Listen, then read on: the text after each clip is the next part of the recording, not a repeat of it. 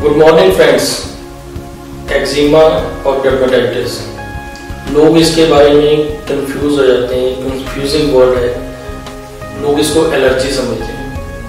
तो मैं आपको डिफ्रेंशिएट कर देता हूँ कि ये है क्या एक्जिमा और एलर्जी में क्या डिफरेंस है। एलर्जी एक जनरलाइज वर्ड है। आपकी बॉडी की इनकम्पैटिबिलिटी किसी भी चीज़ के साथ एलर्जी को पैदा करती है। वो एलर्जी जब बढ़ जाती है तो बॉडी के किसी भी हिस्से में जाके वो डिपॉजिट होके बार बार वहाँ पर उन्हीं एलर्जेंस का अटैक होता है तो वो एक्जिमा हो जाता है। उसको एक्जिमा या डर्माटाइटिस बोलते हैं। बच्चों में कॉमन है, जिसको एटोपिक एक्जिमा बोलते हैं डायबिटिक पेशेंट्स में एक्जिमा होता है। हाउस होल्ड चीज़ें जैसे डिटर्जेंट पाउडर है सोप्स है, इनसे एलर्जी बहुत कॉमन है। उसके बाद वेदर से सनरेज से, जिसको एक्टिनिक डर्माटाइटिस कहते हैं तो अलग अलग कारण है जिससे एक्जिमा हो सकता है और ये एलर्जी से बिल्कुल डिफरेंट है। होता क्या है, आपकी बॉडी में एलर्जी पैदा हुई किसी कारण से। वो बॉडी की सर्कुलेशन में आई ब्लड को इफ़ेक्ट किया ब्लड से आगे धातुएँ जो होती हैं, सात धातुएँ होती हैं, उनमें आगे बढ़ती गई और एक्जिमा को पैदा करती है आज अगर एक हिस्से में एक्जिमा है, वो हिस्सा एलर्जी के सेल्स से इफेक्टेड है। उसमें एक्जिमा अगर हो गया तो नेक्स्ट और बॉडी का इफ़ेक्ट होगा? क्योंकि जो एक खराब सेल डिज़ीज़ सेल एक्जिमा का सेल आपकी बॉडी में बन गया, उसने जो दूसरा सेल बनाना है, वो डिज़ीज़ ही बनाना है। और वो कहीं और डिपॉजिट होगा और वहाँ एक्जिमा पैदा करेगा। तो इस तरह एक्जिमा बढ़ता जाता है।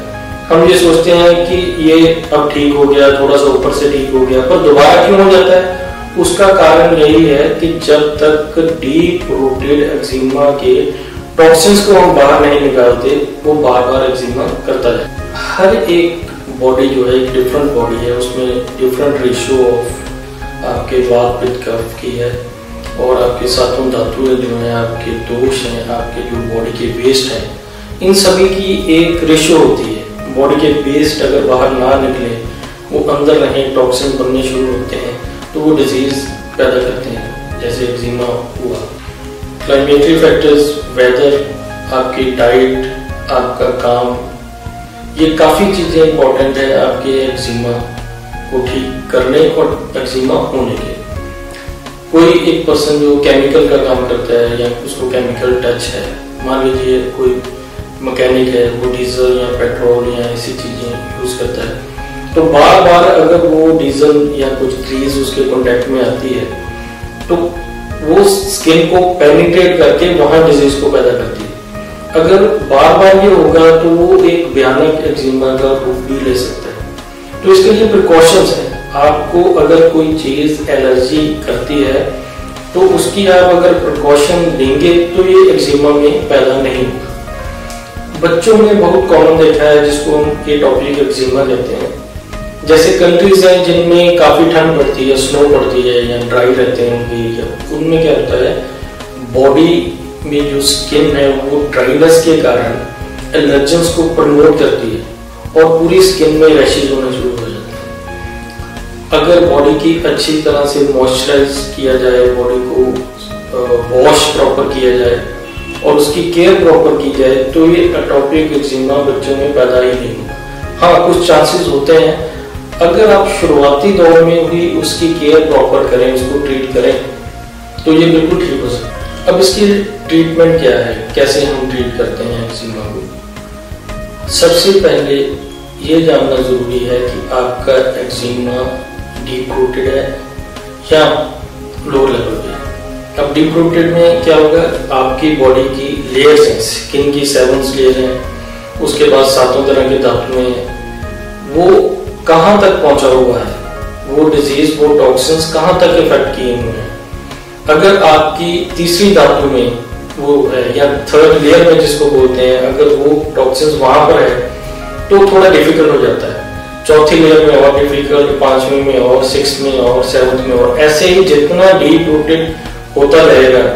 उतना ही हमें ज़्यादा मेहनत करनी पड़ेगी, उतना ही ज़्यादा टाइम लगता है उस डिज़ीज़ को ठीक होने में। तो इसका एनालिसिस हम कैसे करते हैं? आपकी बॉडी के थॉरली चेकअप और टोटल हिस्ट्री से हमें ये पता लग जाता है कि कौन सी लेयर में जाके ये सिम्टम्स पैदा होंगे। अगर वो सिम्टम्स आपकी थर्ड लेयर के है, इसका मतलब आपकी थर्ड लेयर में। फिफ्थ लेयर में अगर वो सिम्टम्स हमें देखने को मिलते हैं तो फिफ्थ लेयर में है। जितना डीप रूटेड होता जाएगा, उसके सिम्टम्स बढ़ते जाएँगे और ज़्यादा से ज़्यादा आपका डिज़ीज़ खराब होता है इसमें हम एक्सटर्नल और इंटरनल दोनों तरह की मेडिकेशन करते हैं।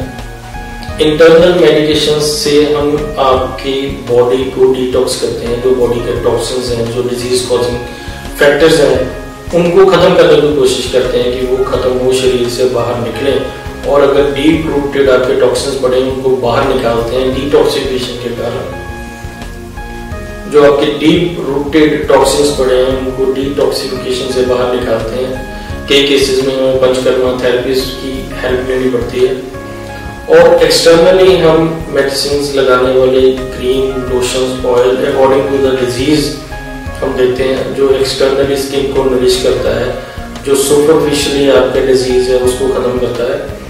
और इंटरनल फैक्टर्स में जो ब्लड प्योरीफाइड मेडिसिन है जो एलर्जी और एक्जिमा को ख़त्म करने वाली मेडिसिन है, ऐसे बहुत से योग हैं जो बॉडी में एक्जिमा और एलर्जी दोनों को ख़त्म कर सकते हैं। क्रॉनिक केसेस ऑफ़ एक्जिमा हमारे पास इतने केसेस हैं जिनको हमने केवल और केवल आयुर्वेदिक मेडिसिन से ट्रीट सक्सेसफुली किया